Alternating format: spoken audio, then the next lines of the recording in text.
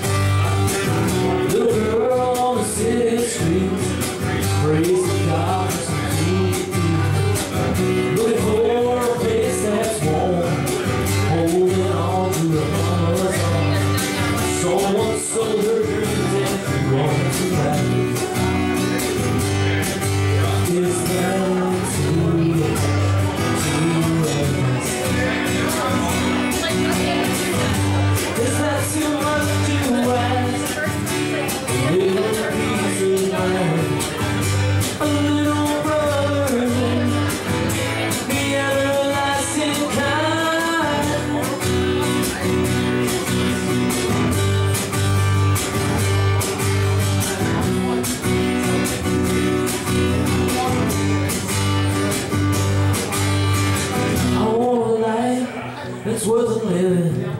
when I sin I won't be forgiven. I want